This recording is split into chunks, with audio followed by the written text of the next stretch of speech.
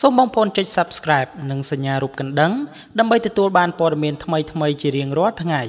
ដូច្នេះសូមតាមដានទស្សនាព័ត៌មានដូចតទៅអ្នកដោះមីនដ៏ល្បីល្បាញរបស់ប្រទេសកម្ពុជាត្រូវបានតុលាការកម្ពុជាសម្រេចឃុំខ្លួនស្ថាបនិកនិងជាបុគ្គលិកជាន់ខ្ពស់នៃអង្គការសារមន្ទីរគ្រាប់មីនកម្ពុជាត្រូវបានសាលាដំបងខេត្តសៀមរាបសម្រេចឲ្យឃុំខ្លួនបណ្ដោះអាសន្នពាក់ព័ន្ធនឹងករណី រក្សាទុកអាវុធខុសច្បាប់បន្ទាប់ពីសមត្ថកិច្ចរកឃើញអាវុធជាតិផ្ទុះចាស់ចាស់ក្នុងបន្ទប់ដាក់សម្ភារៈតូចមួយក្រោយពីមានករណីផ្ទុះឆេះហាងបាយក្នុងបរិវេណសារមន្ទីរនេះកាលពីចុងខែសីហាថ្មីថ្មីនេះអ្នកនាំពាក្យអាយកាអមសាលាដំបងខេត្តសៀមរាបលោករៀមច័ន្ទមនីបានថ្លែងពីម្សិលមិញថាលោកអាគីរ៉ាស្ថាបនិកអង្គការសារមន្ទីរគ្រាប់មីនកម្ពុជា និងមន្ត្រីពីររូបទៀតនៃអង្គការនេះរួមមានលោក ហ៊ៀងសុគន្ធានាយកប្រតិបត្តិនិងលោកអឿនយ៉ុងនាយករងសារមន្ទីរគ្រាប់មីនត្រូវបាននគរបាលស្រុកបន្ទាយស្រីឃាត់ខ្លួនកាលពីថ្ងៃទី28ខែសីហាបាទឆ្នាំ2018នេះមួយថ្ងៃក្រោយពីមានភ្លើងឆេះអាហារដ្ឋានមួយ ក្នុងបរិវេណសារមន្ទីរ និងបន្ទាប់ពីសមត្ថកិច្ចរកឃើញគ្រឿងផ្ទុះគួរឲ្យសង្ស័យច្រើនប្រភេទក្នុងបន្ទប់ដាក់សម្ភារៈមួយនៅជិតនោះ លោកច័ន្ទមនីបន្តថាតាមរបាយការណ៍នគរបាលគ្រប់គ្រងអាវុធជាតិផ្ទុះខេត្តសៀមរាបដែលត្រួតពិនិត្យនៅកន្លែងកើតហេតុបានរកឃើញគ្រាប់បែកដៃ9គ្រាប់មីនប្រភេទ 72A 15គ្រាប់គ្រាប់កំភ្លើងខ្លី325គ្រាប់ដងគ្រាប់ B1 ម្ជុលភ្លើងមីន5ដើម កំភ្លើងស្វ័យប្រវត្តិឆេះខូច6ដើមសម្បកមីនតោន2កេសបាទអឺខ្សែឆេះផ្ទុះ1កេសឈើដាក់គ្រាប់បែក1កេសដែកដាក់ខ្សែឆេះយឺតមួយនិងអាវុធជាតិផ្ទុះជាច្រើនទៀតលោកបានឲ្យដឹងទៀតថាក្នុងពេលស៊ើបសួរលោកអាគីរ៉ាលោកអាគីរ៉ាក៏បានឆ្លើយថាអាវុធទាំងនោះគឺជារបស់ឪពុក បាទមាគាត់ដែលបានស្លាប់យូរឆ្នាំហើយប៉ុន្តែគាត់មិនបានធ្វើរបាយការណ៍ប្រាប់សមត្ថកិច្ចទេ ដើម្បីសម្រួលដល់ការស៊ើបអង្កេតករណីនេះនៅថ្ងៃទី1ដើមខែកញ្ញាសាលាដំបងខេត្តបានសម្រេចឃុំខ្លួនគាត់និងសហការី2នាក់ទៀតដោយចោទពីបទរក្សាទុកអាវុធខុសច្បាប់លោកច័ន្ទមនីបានបញ្ជាក់ថាជាមួយគ្នានេះតុលាការក៏បានសម្រេចបិទទ្វារអង្គការសារមន្ទីរគ្រាប់មីនកម្ពុជានោះ ជាបណ្ដោះអាសន្នដែរ យ៉ាងណាក្តីការបិទសារមន្ទីរនេះគឺបានធ្វើឲ្យប៉ះពាល់ដល់សិស្សនិងនិស្សិតនៃគ្រួសារក្រីក្រមួយចំនួន ដែលកំពុងតែទទួលបានការជួយជ្រោមជ្រែងពីអង្គការនេះលោកឈុនបូរ៉ាគ្រូបង្វឹកបច្ចេកទេសក្រមមន្ត្រីដោះមីននៃអង្គការដោះមីនកម្ពុជា Cambodian Cell Health Landmine បានថ្លែងថាតាមរយៈអង្គការសារមន្ទីរគ្រាប់មីនកម្ពុជានេះសាលាចំនួន21ខ្នងត្រូវបានបង្កើតនៅតាមតំបន់ដាច់ស្រយាល នៃខេត្តភាគពាយ័ព្យនិងខេត្តភាគឧត្តរនៃប្រទេសកម្ពុជា ដោយផ្ដល់ឱកាសដល់កុមារក្រីក្រជាង600នាក់បានសិក្សាដោយឥតគិតថ្លៃនិងចូលរួមលើកស្ទួយជីវភាពលោកគ្រូអ្នកគ្រូស្ម័គ្រចិត្តជាង60នាក់ដែលជួយបង្រៀនបន្ថែមក្នុងសាលារៀនទាំងនេះផងដែរដោយឡែកនៅក្នុងអង្គការនៃសារមន្ទីរគ្រាប់មីនកម្ពុជា នៅភូមិខ្នាឃុំខ្នាស់ ឃុំខ្នាសណ្ដាយស្រុកបន្ទាយស្រីខេត្តសៀមរាបគឺមានសិស្សសរុប30នាក់ដែលទទួលបានការឧបត្ថម្ភធនធានទាំងស្រុងពីអង្គការនេះ ហើយចិត្តពាក់កណ្ដាលនៃសិស្សនោះគឺបានបញ្ចប់មធ្យមសិក្សាទុតិយភូមិនិងកំពុងបន្តនៅសាកលវិទ្យាល័យឆ្នាំទី2និងឆ្នាំទី3ថែមទៀតផង លោកអាគីរ៉ាបានបន្តថាខ្ញុំមិនយល់ច្បាស់អំពីនីតិវិធីរបស់តុលាការទេប៉ុន្តែ តាមទស្សនៈខ្ញុំផ្ទាល់អង្គការ សារមន្ទីរគ្រាប់មីនកម្ពុជាមិនជាប់ពាក់ព័ន្ធនឹងករណីខាងលើនេះទេ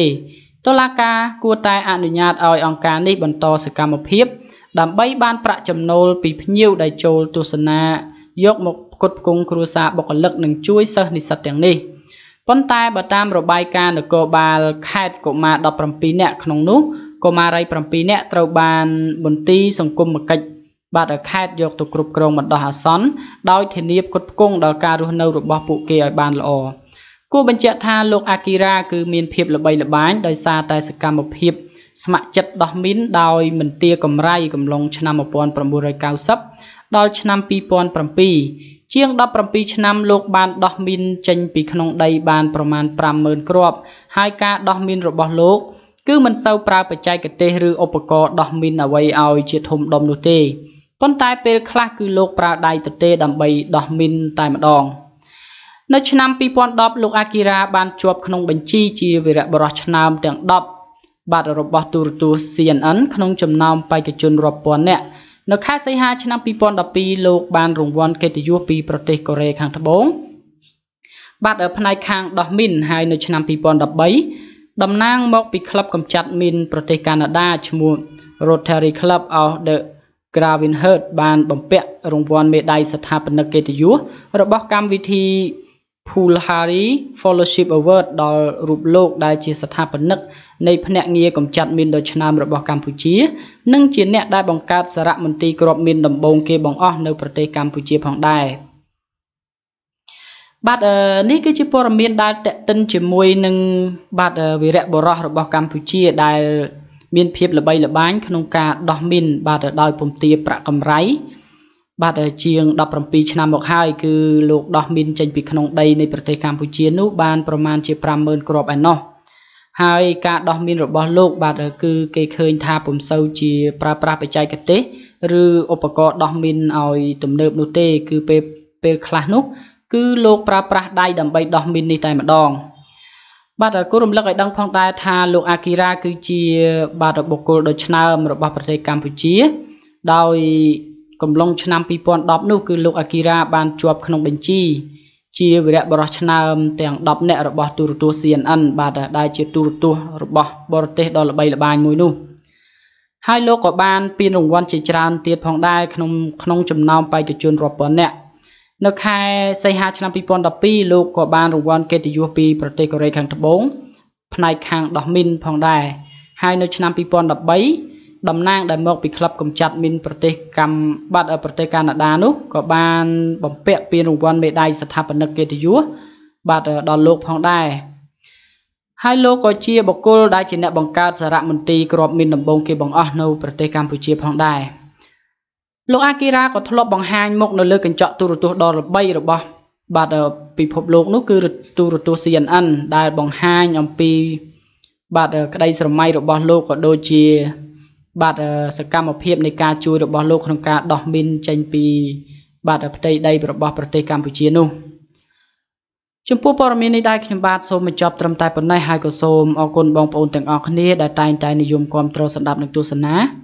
អរគុណសម្រាប់ការចូលរួមចុច Subscribe របស់បងប្អូនផងដែរយន្តវិធីធ្វើខួបកំណើតតែសំលាក់អាយុកាលពីយប់ថ្ងៃទី1ខែកញ្ញាពិធីករនិងជាអ្នកគ្រប់គ្រងក្រុមបង្ហាញម៉ូដ BN